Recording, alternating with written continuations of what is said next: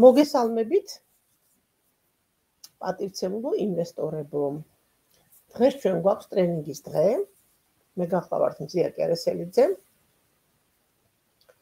რეგიონალური განვითარების კურატორი საქართველოსში 2017 წლიდან. ამავე დროს ვარ სპიკერი, სერტიფიცირებული სპიკერი კომპანიის მიერ და მაქვს პატივი, ასე ვთქვათ, თქვენს წინაშე გამოვიდე ხოლმე კვირაში ერთხელ და ჩაგიტაროთ ტრენინგები ვისაც აინტერესებს პარტნიორული პროგრამა.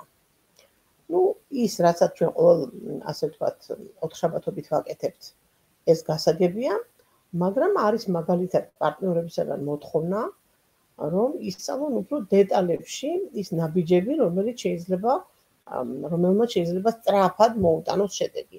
რას ნიშნავს სწრაფად მოგვიტანოს შედეგი? რაღაცა ნაბიჯებმა. ეს არის თითქმის და თითქოს მარტივი ნაბიჯები მაგრამ ამ მარტივი და პატარ-პატარა ნაბიჯებით ადამიანები აღწევენ წარმატებებს. ყოველ შემთხვევაში ჩვენი პლატფორმისთვის, Skyward Community-ისთვის ეს არ არის სირთულეს არ წარმოადგენს, რომ მაგალითად მ გააკეთოს ისეთი ტრენინგები, რომ თვითოული ადამიანებისთვის ხალხისაცდომი იყოს, მარტივად გასაგები, მარტივად ასახსნელი და გარდა იმისა, რომ მე თქვენ ამას გასავლით, როგორ უნდა გავაკეთოთ და მე მაქვს ამის უფლება, თქვა რომ ეს ტრენინგი ჩავატარო, გარდა ამისა, მეგობრებო, თქვენ შეგიძლიათ იგივე ისწავლოთ, რაც იცით, ის გაუზიაროთ თქვენს სხვა, ასე ვთქვათ, პარტნიორებსაც ჯგუფში, ხო? ხომ არის საინტერესო, როგორ შეიძლება წარმართოთ ჩვენი სამუშაო სისტემა ისე, რომ პატარ-პატარა სწრაფი ნაბიჯებით, პატარ-პატარა ნაბიჯებით თითქმის გუნდში უმრავლესობა, ანუ 70%-მა, ვისაც მუშაობა უნდა, უკვე მიაღწიოს შედეგს. შედეგი ნიშნავს მოზიდული ინვესტიციებს, შედეგი ნიშნავს დარიცხულ ბონუსებს, იმიტომ რომ პარტნიორული პროგრამა და მისი მარკეტინგი პარტნიორული პროგრამისთვის გამიზნული არის იმისათვის, რომ ინვესტორები სანამ მიიღებენ დივიდენდებს, სანამ მივალთ იქამდე, რომ ანატოლი უნიცკი, ასე ვთქვათ, ინვესტორებისთვის საინტერესო სარგებელს გამოყოფს, შეიძლება ეს იყოს თვალ ზეგან რამდენიმე წლის შემდეგ, ვისაც ეს არაფიქრებს და ჯერადას წამს ამ კომპანიის და არის ჩვენთან ერთად, მას უნდა დღეს ყოველდღიური სამსახური, შეიძლება ითქვას ბევრისთვის გრძელვადიანი სამსახურიც არის საინტერესო რომ დაგეგმოს, მე პირადად ამან დამაინტერესა და მომეწონა, რომ ჩემი საქმიანობა ამ კომპანიაში ყოფილიყო გრძელვადიანი. და მე ვფიქრობ 2000 2017 წლიდან 17, 18, 19, 20, 21, 22 წელი მეგობრებო, 5 წელი საკმაოდ გრძელვადია სამსახურად ითვლება, თუ კი ჩვენ დღეს აი აქ საქართველოში, ნუ ქართულ ასე ვთქვათ, აუდიტორიას ვესაუბრები, ხო? აა 5 წელი კონდეს სამსახური აი ესეთ უნიკალურ პლატფორმაზე კომპანიაში იყო რეალიზებული, კონდეს საკუთარი კაპიტალი აქ ინვესტიციების სახით, ხო? კონდეს ბონუსური შემოსავალი, იმიტომ რომ ინვესტიციების მოზიდვას აკეთებ და მარკეტინგული გეგმით ეს გეკუთვნის და პლუს სპიკერი იყო, ყავდეს გუნდი, დადიოდეს საზღვარგარეთ სასწავლებლად უცხოეთში სხვადასხვა ქვეყნებში, კონდეს დაწინაურება, სხვადასხვა კვალიფიკაციები და სტატუსების აფეხურებრივი და მეტი რა არის, ასე ვთქვათ, გრძელვადიანი საინტერესო სამსახური. ფიქრობ, ძალიან მომგებიანი ასე ვთქვათ, შეთავაზება ყველა იმ ადამიანისათვის, ვინც დღეს ინვესტორია და კიდე ფიქრობს, ჩაერთოს თუ არა აი ასეთ უნიკალურ სისტემაში. მე პირადად ერთ-ერთი მაგალითი ვარ აი ამ ყველაფრის და დღესაც ჯერა და ხვალეც იგივე წმენაზე ვიქნები, რომ ამ კომპანიაში პლატფორმას Skyward Community-ის მეშვეობით ძალიან ბევრ ადამიანს შეუძლია შეიქმნას გრძელვადიანი სტაბილური სამსახური. და იმოღვაწეოს ჩვენთან ერთად. აი ეს ყველაფერი რაზედაც მე ვილაპარაკე, ყველაფერი უკავშირდება სისტემის შექმნას. ჩვენ თუ სისტემას არ შევქმნით, უბრალოდ გავხდებით ინვესტორები, ანუ უბრალოდ ასე ვთქვათ, ვიფიქრებთ რომ მოვიზიდოთ ინვესტიცია, მაგრამ არა იმიტომ რომ სისტემა შექმნათ, არამედ იმიტომ რომ დამერიცხოს აი ამ გადარიცხული თანხის 15%. თუ ჩვენ ვიქნებით ორიენტირებული ფულზე, პირდაპირ გამოვაცხადებ, ხო? მაშინ სისტემის შექმნას ესეთი ადამიანები ვერ შეძლებენ. როგორ უნდა შეიქმნას სისტემა? ამაში არის თელი საფუძვლები, მეგობრებო, ადამიანის დამოკიდებულებები, ადამიანებთან, ხალხთან, ინვესტორებთან თანამშრომლებთან, პარტნიორებთან და ასე შემდეგ, ხო? სულ ყველაფერს აკეთებს დამოკიდებულებები. მაგალითად, თუ კი ჩვენ ვიტყვით, რომ ჩვენი სისტემის შექმნა სულ რაღაც 4 ნაბიჯი ჭირდება, სულ რაღაც 4 ნაბიჯი. აი ეს 4 ნაბიჯი ძალიან მარტივია. პირველი დავპატიჟო ვინმე, მეორე მივცე ინფორმაცია, მესამე დავაკეთო ზარი და ვკითხო, დაინტერესდა თუ არ დაინტერესდა და მეოთხე თუ დაინტერესდება, წავიდე და დავაფორმო ადამიანი. ის სულ ეს არის თითქოს 4 ნაბიჯი. თუმცა აი აქ სიღრმისეულად თვითონ პარტნიორისაც მუშაობა უნდა. შესაძლებელი აქვს სიღრმისეულად, რას ნიშნავს ეს ნაბიჯები? მაგალითად, პირველი ნაბიჯი რას ნიშნავს? თუ ჩვენ უბრალოდ ცივად ავიღებთ რაღაც სიას, გავაკეთებთ 10 კაცი, 100 კაცი, 300 კაცი, არ ვიცი, ვისაც როგორ უნდა, ხო? ავიღებთ ტელეფონს და დავიწყებთ აი ესეთ გადარეკვას ყველასთან. მე არ ამგონია რომ აქ სერიოზული შედეგი მიიღოთ მეგობრებო. ყოველ შემთხვევაში, ჩემი გამოცდილებით, რაც Skyward Community-ში ამ თემაზე ვმუშაობთ, აა ნამდვილად არ არის სტატისტიკა შედეგი. აქ აუცილებლად არის გადარჩევა უფრო შედეგი, ადამიანს უნდა კონდეს უნარი და შეეძლოს როგორ გადაარჩიოს ის სანაცნობო საბაზისო ბაზა, რომლითაც უნდა რომ იმუშაოს. რა თქმა უნდა, დასაწყისში ჯერ გადარჩევა უნდა და შემდეგ უკვე მუშაობა უნდა. აქ არის კიდევ ერთი მნიშვნელოვანი ფაქტორი, რომელსაც მინდა დღეს ხაზი გაუსვა, ეს არის დამოკიდებულებები აი ამ კომპანიასთან, დამოკიდებულებები შენ საკუთარ მიზნებთან და მხოლოდ მე ხვდები რატომ გაქვს შედეგი და რატომ არა გაქვს შედეგი. კიდევ ვიმორებ, თუ ეს დამოკიდებულება არის მხოლოდ დაინტერესება 15%-ის, რომელიც ნამდვილად მსუყე არის, ხო?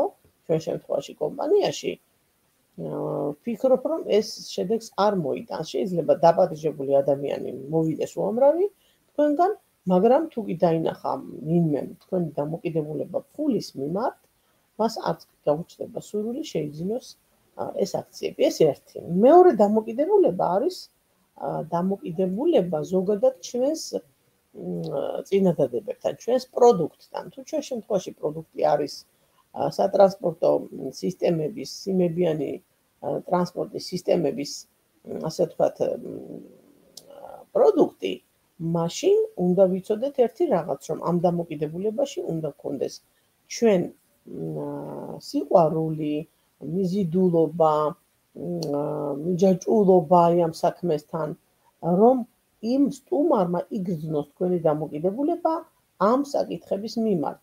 თუ ამ საკითხების მიმართაც არის ცივი დამოკიდებულება ზოგადი, მხოლოდ იმიტომ რომ რაღაც სამსახურს ეძებდა, იმიტომ ხარ ესეთ დამოკიდებულები, მხოლოდ იმიტომ რომ კიდევ დაუბრუნდები თანხა შეიძლება კარგი დაგერიცხოს, რა თქმა უნდა ასეთი კლიენტები, ესეთი სტუმრები არასოდეს არ შემოდიან კომპანიაში და თანაც აქვე უნდა დავძინო, რომ ეს დიდი ინვესტიციები ასეთ შემთხვევაში არ ხდება ასე დროს. რატომ არის რომ უმრავლეს პარტნიორებს და უმრავლეს ადამიანებს ჩვენს კომპანიაში უმრავლესობას აქვს დაბალი პაკეტები და უმცირესობას აქვს მაღალი. აი ეს უმცირესობა მეგობრებო არის ერთმანეთით გაჯერებული ადამიანები, რომელსაც წამთ ჯერათ და ზუსტად იციან სად მოვიდნენ და რა უნდათ. აი ასეთი ერთმანეთს გაჯერებული ადამიანები რა თქმა უნდა ცოტანი არიან.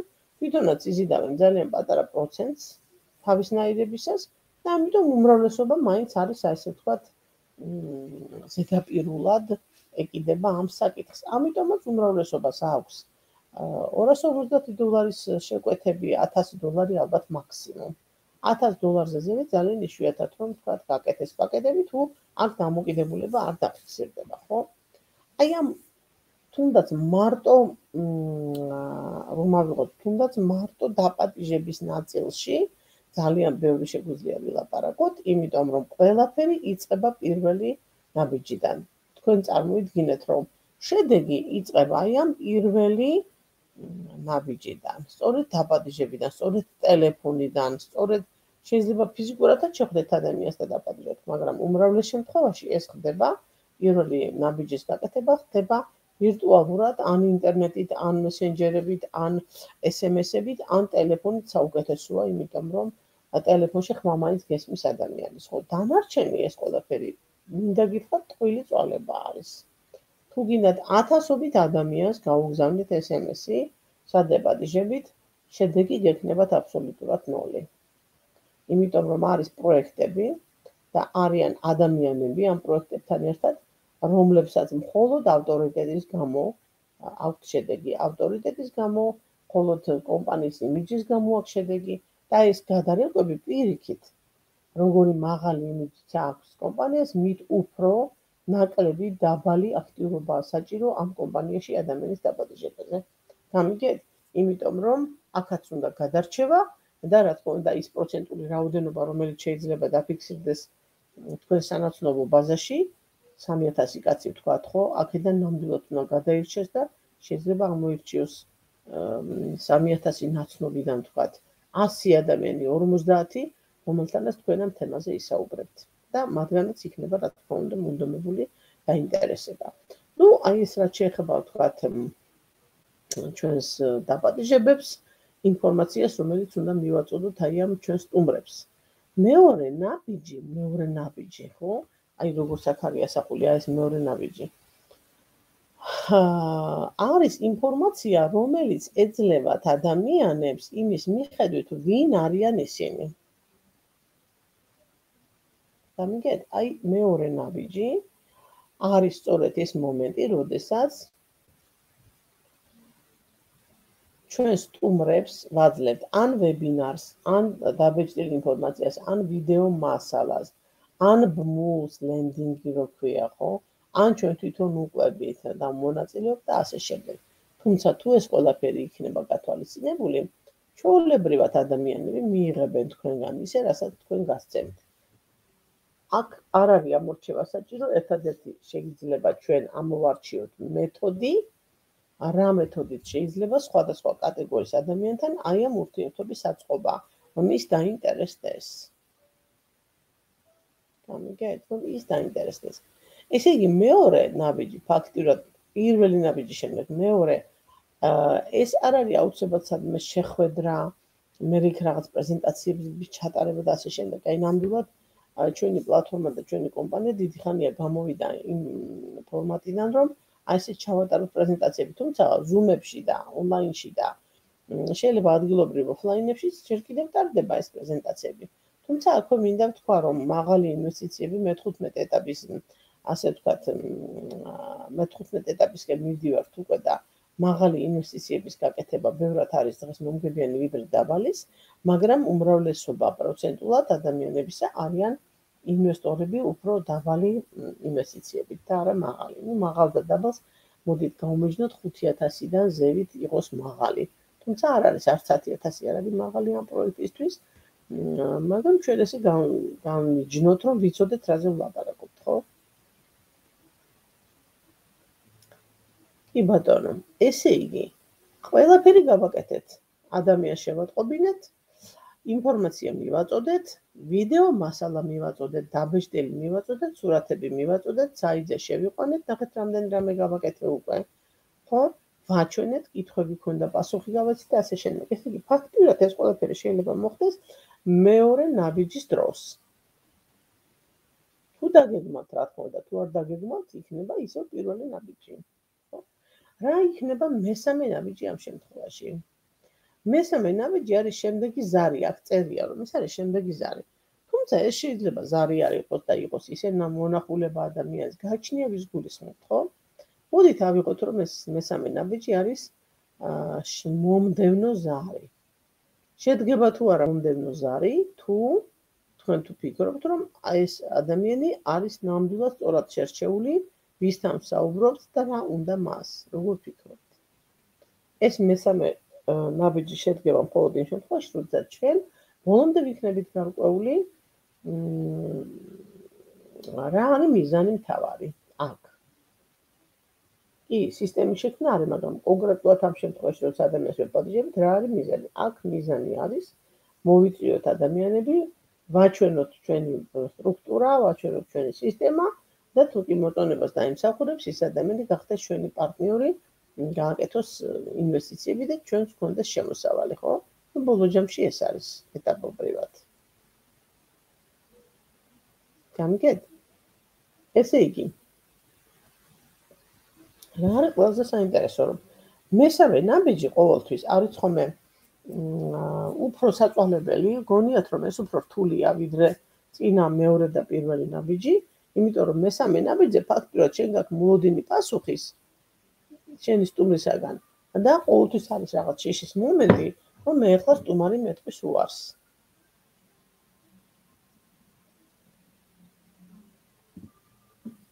ან ეს არის შეში.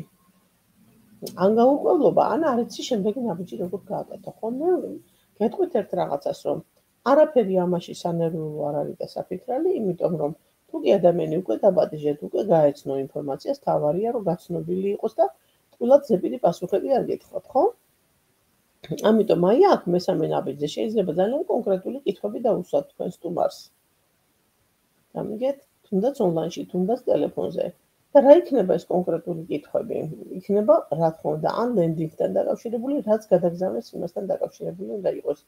განზოგადებული კითხვა არ არის საჭირო. თუ კი ადამიანს პირადად ემუშავებით, მამს უკვე მეორე ნაბიჯი გადაადგმევინეთ, ახლა მესამე ნაბიჯამდე ხართ მისული, აქ უნდა დასვათ კონკრეტული კითხვები. რაზე გქონდათ საუბარი? რა მოთხოვნა მოდიოდა მისგან? ხო? ამის მიხედვით უნდა დასვათ შემდეგი შეკითხვა. ამიტომ არის საჭირო, რომ დაწყებებულად, გააზრებულად გავაკეთოთ მესამე ნაბიჯი და ბოლოს დარჩა მეოთხე ნაბიჯი, როდესაც ეს ადამიანი მიდის კმაყოფილი მესამე ნაბიჯის შემდეგ და მეოთხე ნაბიჯზე ითარ ესე იგი მეოთხე ნაბიჯზე უკვე რეალურად შეხვედრა უნდა შედგეს ან ონლაინ შეხვედრა სადაც გადაწყვეტილებას ვაღებინებთ ადამიანს რეგისტრაციაზე და ინვესტიციაზე რეგისტრაცია და ინვესტიცია ეს არის უკვე მისი პრიორიტეტი, მან უნდა ერჩიოს უბრალოდ ჩვენ უხსნით ჩვენ ჩვენი პლატფორმის მეშვეობით, ჩვენი საკუთარი პლატფორმის მეშვეობით, უხსნით, სად რა არის განყოფილება, როგორ შეიძლება თანხის გადარიცხვა, სად არის გარანტიები, რომ გადარიცხავს ნამდვილად მიიღებს თუ არა ამ აქციებს და ასე შემდეგ და ასე შემდეგ. ფაქტურად მეოთხე შეხვედრა, მეოთხე ნაბიჯი ძალიან ბევრი დრო ეთმობა ხოლმე კითხვა-პასუხის რეჟიმში მუშაობას. ეს არის ძალიან კარგი. როდესაც ინვესტორი პოტენციური ინვესტორი ინტერესდება, ბევრი კითხვები აქვს და ინტერესდება, ეს ნიშნავს, რომ იგი სერიოზულად არის განწყობილი აი ამ ყველაფრის მიმართ, რასაც ჩვენ თავაზობთ, ხო? აი ასე არის რეალურად ძირითადში, ხო? ეხლა მე მინდა იმ თავარ საკითხებზე გამომახვილო ყურადღება, რომელიც სპონსორსა და ახალ პარტნიორს შორის შედგება ხოლმე. მაგალითად, პირველი რაც აუცილებლად ვიცოდეთ ჩვენ როგორც სპონსორებმა, ჩვენი პარტნიორების, ეს არის რამდენად აქვს ჩამოყალიბებული მას ჩვენ კომპანიასთან დაკავშირებული მიზნები. გამიგეთ, აი ჩვენ კომპანიასთან დაკავშირებული მიზნები რამდენად აქვს ჩამოყალიბებული. იმისაც რომ ჩვენ ეს გავარკვიოთ, არსებობს რამდენიმე საკვანძო კითხვები და ამ კითხვების ამ კითხვებით უსაუბრთ ამ კითხვის მიყვებით და ვარკვევთ ჩვენ ახალ პარტნიორთან მის მიზნებს. აი ესე კონკრეტულად რო დაუჯდეთ და გამოკითხო, აბა მითხარი შენი მიზნები, ან რა გაგ დაგეგმილი მითხარი. შეიძლება ბევრი რაღაცა ადამიანს დაგეგმილი ცხოვრებაში, მაგრამ იგი ამას თმამაღლა არ აშღერებს. ესე იგი, ამაში არის ძალიან მნიშვნელოვანი რაღაც, ხო, დევს. ესე იგი, თუ ჩვენ გავარკვევთ ჩვენს პარტნიორთან, რომ მიზნები გარკვეული გვაქვს, მეორე დავალებას ვაძლევთ შექმნას და შეადგინოს თავისი ნაცნობთა სია, ну, ასე ვთქვათ, ბაზა, სანაცნობო ბაზა, რომელთან ერთადაც აი ამით ამ ბაზით იმუშავებს ხო ეს ადამიანი. ამიტომ ამ ბაზაზე მუშაობა მიდის გუნდურადაც სპონსორებთან ერთად, რომ ამ ერთმა ადამიანმა ისეთი შედეგი მიიღოს, რომ იყოს ყველა კმაყოფილი, თუმცა ასეთი ერთი ახალის გარდა კიდე ბევრი არის და ყველასთან ინდივიდუალური მუშაობა არის საჭირო რომ ჩატარდეს. რაც მთავარია, აუცილებლად ამ ადამიანებთან ერთად ჩვენ ვადგენთ დროს, რა დროს გვექნება საშუალება რომ ჩვენ შევხვდეთ და ამაზე ვიმუშაოთ და ერთად გავიაროთ და ასევე ვასწავლოთ მას როგორ უნდა დაპატიჟოს სტუმარი შეხვედრაზე ჩვენთან, ჩემთან, გუნდთან, პრეზენტაციაზე და ასე შემდეგ. აი ამ უნარებზე სხვათა შორის ეხლა დავიწყეთ უკვე ჩვენ ტრენინგები, 10 კომპეტენცია და აი ამ კომპეტენციებში მიხვდებით თქვენ რომ აქ ისწავლება ისეთი უნარები კი არის ისწავლება ინერგება ისეთი უნარები რომ ფიქრობ ყველასთვის ძალიან აუცილებელი და მნიშვნელოვანი უნარები იქნება ხო რაც შეეხება პრეზენტაციას მეხუთე პრეზენტაცია მეგობრებო უნდა იყოს ჩატარებული თუნდაც ერთი ადამიანისთვის აი ამ ახლისთვის. თქვენ თვის ყველაზე მნიშვნელოვანი არის თქვენთვის ყველაზე მნიშვნელოვანი არის იმუშაოთ ახალ პარტნიორთან და არა მის სტუმრებთან. თავარია ახალი პარტნიორი, როგორც პოტენციური ლიდერი, გადაადგმევინოთ ისეთი ნაბიჯები, მას რომ აინტერესებს. ამიტომ აქცენტი ყოველთვის უნდა გააკეთოთ პარტნიორებზე ვიდრე სტუმრებზე. სტუმარი ისევ მოვა, კიდევ მოვა, კიდევ მოვა და ან იყიდის რაღაცას, ან არ იყიდის. მაგრამ თქვენთვის არის ახლა ყველაზე მთავარი აქცენტები გააკეთოთ პარტნიორზე, რომელმაც არჩევანი უკვე გააკეთა, რომ თქვენთან უნდა და თანამშრომლობა. გამიგეთ რა შეესაბამება? აი, ამიტომ პრეზენტაციას ვატარებთ ისთვის. პრეზენტაციას ჩვენ ვატარებთ ჩვენი პარტნიორისთვის. ისეთი პრეზენტაცია უნდა ჩავატაროთ, რომ აი ამ ჩემ ახალმა პარტნიორმა თქვას, ეს როგორი მაგარი პრეზენტაციაა, მე ამ პრეზენტაციაზე მოვიყვან ყველას, ვისაც კი ვიცნობ. მასში უნდა გააჩინოთ სურვილი პრეზენტაციაზე დაბადიჟოს თავისი ახლობლები, თუმცა თქვენ პრეზენტაციას ჩაატარებთ მისთვის. შეიძლება ეს არ იქნება ერთხელ, რამდენჯერმე გაქვთ ჩატარებული და ასე შემდეგ, მაგრამ მისთვის ცალკე უნდა ჩატარდეს პრეზენტაცია, რომელშიც იგი დაინახავს თავის პოტენციურ თანამშრომლებს, პოტენციურ ინვესტორებს, რომლებიც გააკეთებენ ინვესტიციას. ყველაზე მეტად ჭრის იმ ადამიანის სიტყვა, ვინც არის მათთვის ახლობელი და ავტორიტეტი. სწორედ ეს ადამიანი არის ესეთი პიროვნება ავტორიტეტი რომელიც სიტყვაზეც სიტყვაზეც ადამიანები იჯერებენ და მიყვებიან თვალთახუჭული ასე ვთქვათ ხო? ამიტომ აი ეს პრეზენტაცია ძალიან მნიშვნელოვანია და მეორე ეს რაც ყველაზე მთავარი ეს არის ყურადღების მიქცევა ასე ვთქვათ იმ ადამიანებზე ვინც არ უნდა არ შემოვიდა ვერ გადაიხადა თანხა. ძალიან უნდა მაგრამ შეფერხდა ამის გამო და ასე შემდეგ ესე იგი გამოდის რომ ყურადღების მიქცევა აუცილებლად ჭირდება აა ახალს კი არა ძველსაც ჭირდება. საერთოდ ნებისმიერ ადამიანს უყარს ყურადღება და ჭირდება მუშაობის პროცესში. და ვფიქრობ რომ ეს ყურადღების მიქცევა ძალიან მნიშვნელოვანია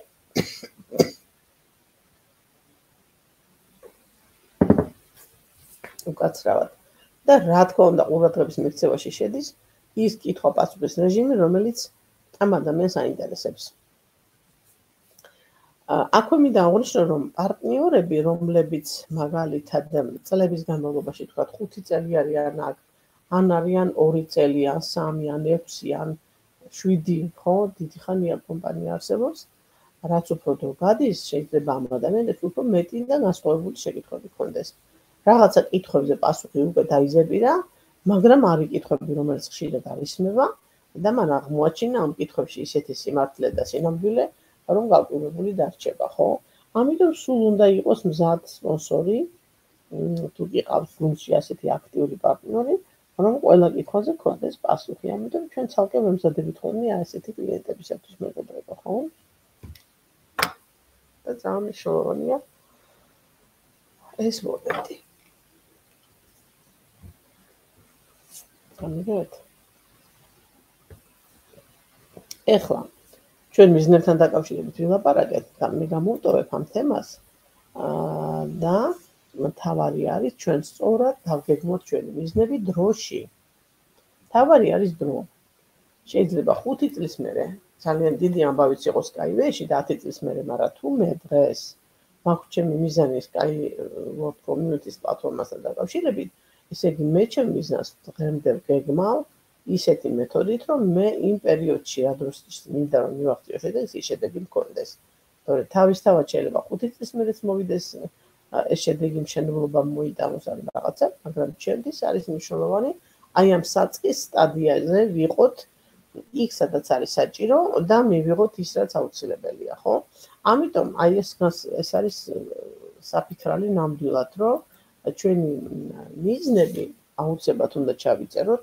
უნდა ვიცოდეთ მისი დაწერის, მოკლედ ჩაწერის მიზნების მოკლედ ჩაწერის პრინციპი და მითითება უნდა ყველა დეტალს და აი ამ გრაფაში თქვენ შეძლებთ რომ ჩაწეროთ თქვენი მინიმუმ სამი მიზანი, რომელიც არის დაკავშირებული, ესე იგი, აი ამ თემებთან, რაზედაც მე ვილაპარაკე. ხო?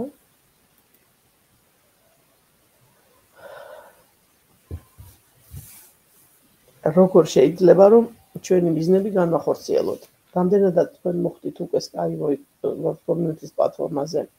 ხართ შეხებაში ანტონინსკის პროექტთან, ჩვენ მუშაობთ მის აქციებზე და ასე შემდეგ. ძალიან მნიშვნელოვანი იქნება თუ კი თქვენ აა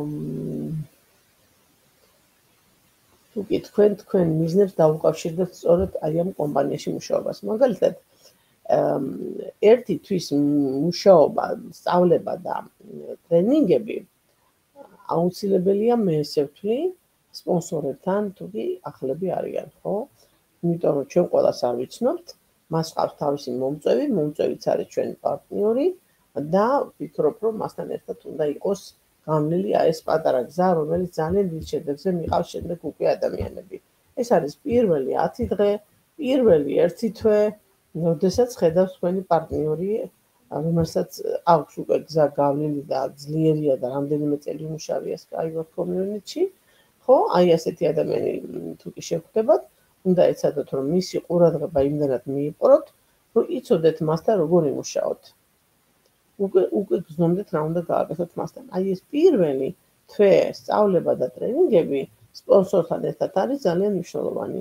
ეს ადამიანები სწავლობენ შვიდად წნარად მუშაობას, აკეთებენ გაყიდვებს სპონსორთან ერთად, რომ აი ამ გაყიდვების საფუძველზე ორი კვირის განმავლობაში გადავიდნენ ლიდერის რანგში. ანუ უფრო წინ სხვა კარიერაზე, ხო? შემდეგ მოდის თანმიმდევრული მოქმედებები ამას ყველაფერს და იმისათვის რომ მივაღწიოთ მაგალითად მასტერის რანგს საკუთარ კარიერაში, აა უნდა მივეხმაროთ უკვე სხვა სამს სხვა ადამიანს, რომ გახდნენ ლიდერები. აი წარმოიდგინეთ, როდესაც ხარ მარტო და მხოლოდ საკუთარ თავზე ფიქრობ ეს ერთია, მაგრამ როდესაც შენ გაქვს პასუხისგებლობა მიეხმარო შენთვის სამ მინიმუმ ადამიანს, ამ ადამიანებსაც რა თქმა უნდა შეერჩევა ჭირდება, ხო? ეს ნიშნავს, რომ შენ გინდა განვითარება, გუნდი, და ის თავშივე რომ თქვით რომ აქ არის საჭირო ისეთი მიზნის დასახვა რომ იყოს რეალური და ასე შემდეგ ხო? სწორედ ეს გადაპირობებს ეს დამოკიდებულება მეგობრებო ხო? დიახ ესე იგი.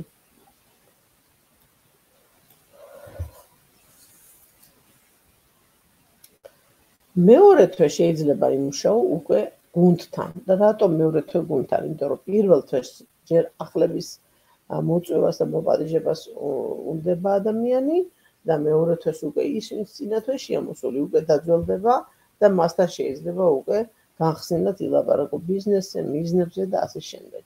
და საერთოდ ამას ქვია მეორე თვე უნდა იმუშაო აუცილებლად გუნდთან ერთად. თუ პირველი თვე შენ თვითონ სწავლობ, შენ თვითონ აკეთებ ბევრ რამეს შენ თვითონ მიდიხარ წინ, ხო? და აი ეს კონკრეტულად ეს დამოკიდებულება შენ გაიძულებს რომ გააგრძელო გზა და აკეთო შემდეგ შენი საქმე. და მეორე, როდესაც გუნდთან ერთად მუშაობ, ხო?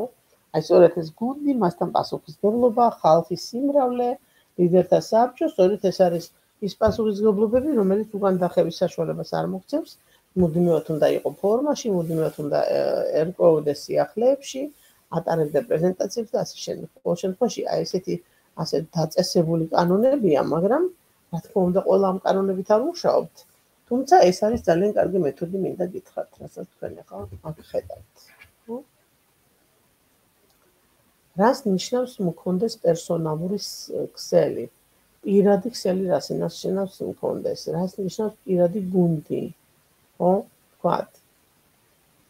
აი ეს პირადი გუნდი, პირადი ქსელი და ასე შემდეგ პერსონალური ნიშნავს, რომ ერთი ადამიანი თავის ანაცნობო წრიდან უახლოესი ადამიანებზე ალაპარაკი, იმათვისაც რა თქმა უნდა აქვს დრო, მოიწიოს პროექტში, რათა ისინი გახდნენ ინვესტორები, პირველი რომ ინვესტორები და გახდნენ და მეორე მათთვის გექნებათ ძალიან, ასე ვთქვათ, საინტერესო და სერიოზული შემოთავაზებები.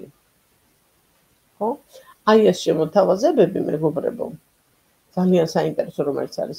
ყველას ერთნაირად ეძლევა მაგრამ მუშაობით არჩევანით შეიძლება აქედან ამ ადამიანებიდან არც ეც არ უნდადეს პერსონალური ქსელის შექმნა და თანამშრომლობა კომპანიასთან. უბრალოდ თავისთვის არის ინვესტორი და მორჩა.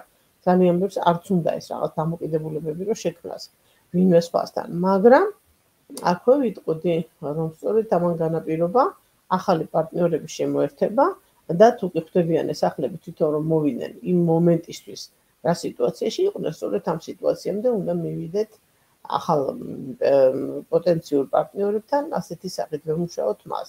როგორ საერთოდ ჩვენ მოვყევით ხო ამ ეტაპზე? კი ბატონო.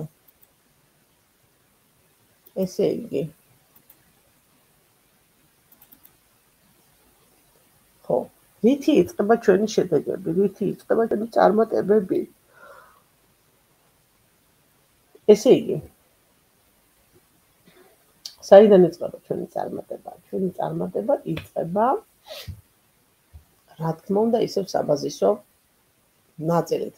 ჩვენ აუცილებლად უნდა ვნახოთ დავფიქრდეთ, წავიკითხოთ, გადავარჩიოთ ჩვენი ბაზა ადამიანების რესურსის ბაზა.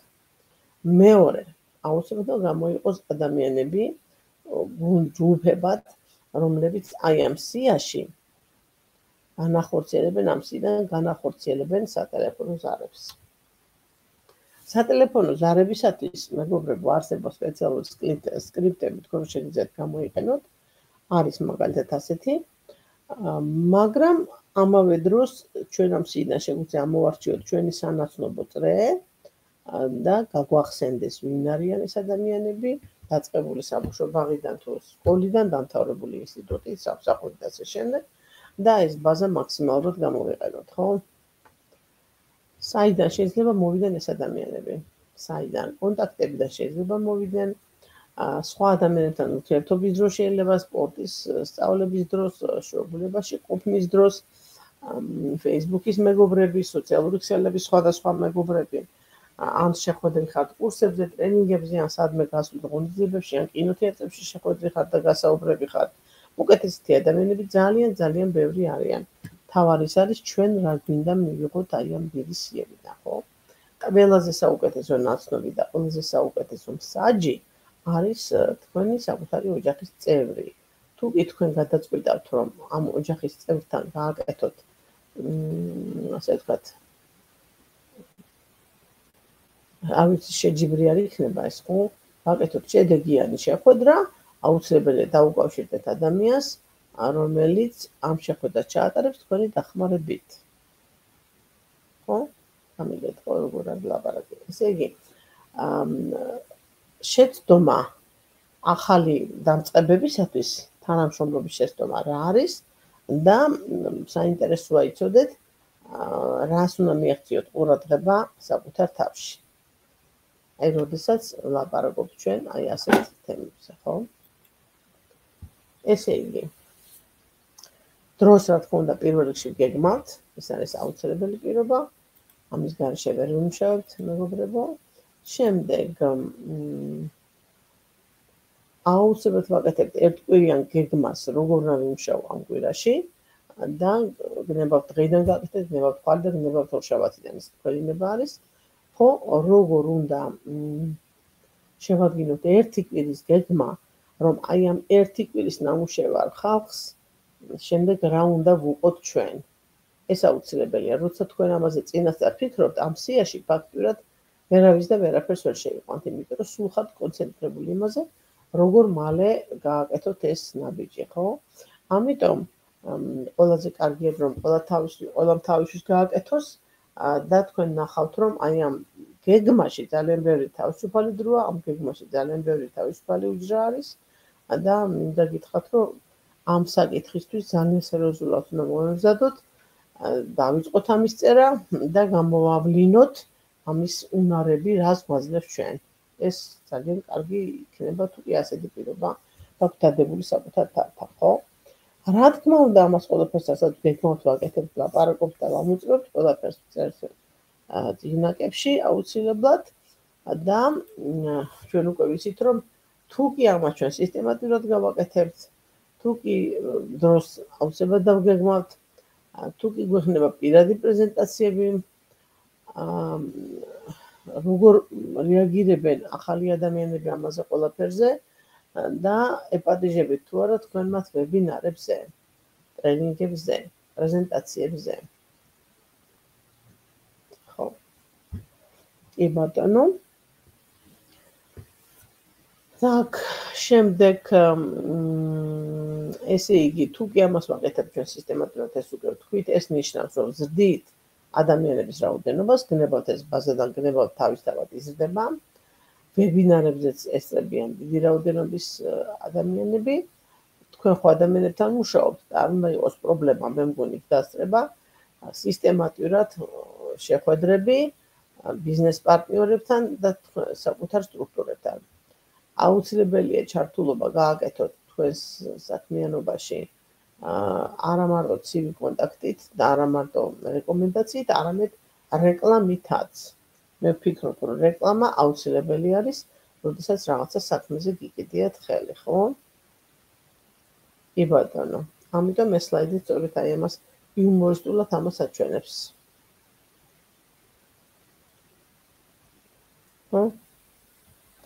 კი ბატონო. გადავიდეთ შემდეგზე. ესე იგი, ჩვენ ვთქვით, რომ დაპატიჟება და ასე შემდეგ ხალხის სიმრავლე ჩვენ სისტემაში იმით იმას განაპირობებს, როდესაც ადამიანებს ხალხს ფული არ აქვს, არაფრისთვის ისინი მოძებნიან ისეთ ინვესტიციებს, რომელიც ისე მას გამოიყვანს აი ამ მდგომარეობიდან.